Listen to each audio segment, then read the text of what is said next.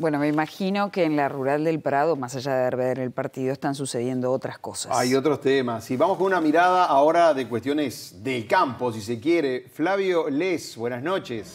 Gusto recibirte, Flavio. Así es, buenas noches, qué placer, qué buenas noches, qué placer estar compartiendo esta noche, pero hay pantalla gigante igual, ¿eh? para ver el partido acá, hay mucha gente en las gradas observando lo que es el partido, pero sí, pasan cosas en la rural del Prado, de hecho hoy al mediodía inauguró el Banco de la República y en esta oportunidad una importante firma de convenio entre el Banco República, el Instituto Nacional de Colonización y el Instituto Plan Agropecuario, que ayuda indudablemente a, los colonos eh, a poder tener un, crédito y que le viene muy bien, por cierto.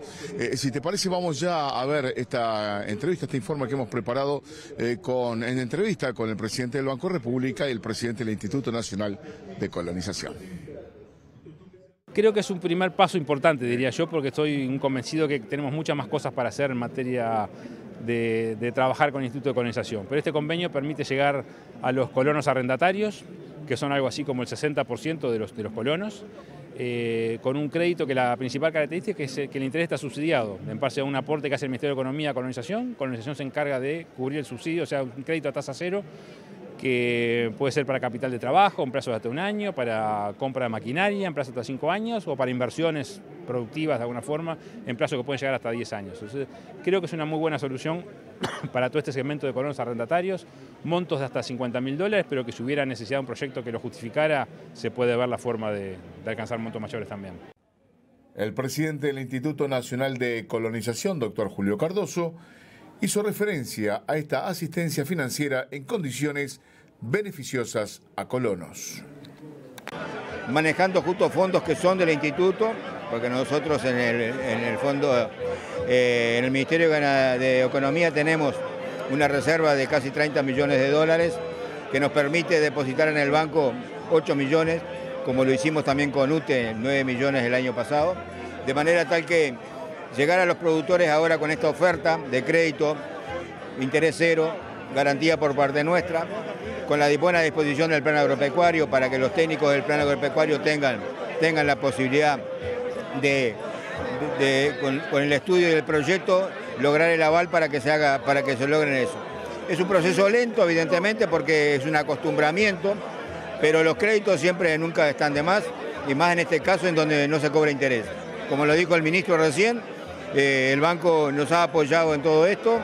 Tenemos otros temas por delante con el banco, importantes también, pero esto es una primera etapa este, que nos llena de alegría porque eh, tanto del Ministerio de Ganadería como de los productores, los colonos, como así también toda la institución, estaban esperando eh, que se diera esta oportunidad.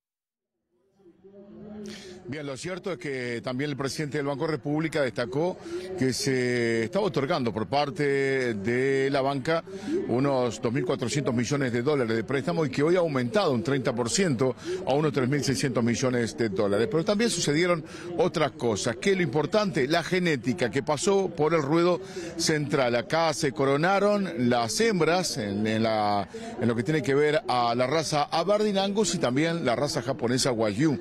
Hablamos también con el, eh, director de exposiciones de la Asociación Rural de Exposición, eh, Rafael Ferber, sobre cómo se viene desarrollando este prado que llovió, pero que ha venido muchísima gente con un crecimiento de un 10%, haciendo número y comparándolo con el año pasado. También destacamos que la Santina de Ismael Cortinas, de San José, obtuvo eh, la gran campeona de la raza Aberdeen pero esto también sucedió aquí en el ruedo. Con la participación de muy buen nivel genético, las hembras de la raza Bardinangus se presentaron hoy en pista. Y bueno, muy contento, el año pasado sacamos el campeón junior, eh, ganamos la serie junior y ahora bueno, eh, con una ternera mayor, una colorada, ganamos la, serie y bueno, vamos a entrar a definir ahora. Contento, estar en la, en la lucha es importante. La raza Wayu o vaca japonesa también coronó a los grandes campeones una, una fila realmente muy buena, eh, expuesta por Estancia El Álamo, una, firma que ha venido trabajando mucho y muy seriamente para la raza, lo cual nos congratula como sociedad de criadores en, presentar animales tan, tan, bien, tan bien desarrollados para la edad y mostrando lo que es el, el guayu en el rodeo nacional. ¿no? es ya no aquella raza rara, aquella anécdota, no, es ya este, en realidad en la, producción del Uruguay y acá se está mostrando. Para Rafael Ferber, director de exposiciones, la expo se desarrolla tal lo previsto.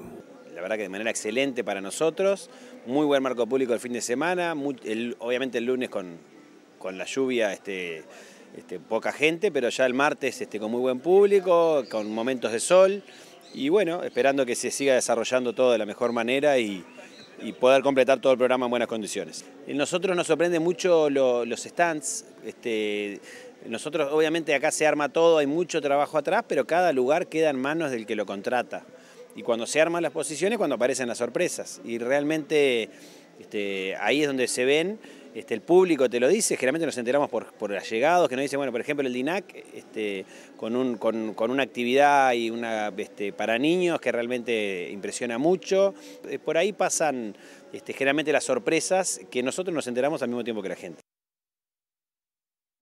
Todavía queda mucho Prado, ahora a las 9 de la noche se abre las puertas Plaza Prado, que igual está abierto durante todo el día, pero comienza un poco la movida en esto del Prado en la noche. Mañana aquí en el Ruido Central también se destaca la presencia de la raza Aberdeen Angus, machos, así que seguramente vamos a estar ampliando la información mañana eh, con todo lo que pasa aquí en esta Expo Prado 2023 eh, en la edición número 118. La invitación está hecha, vengan a la rural aquí a la capital del país.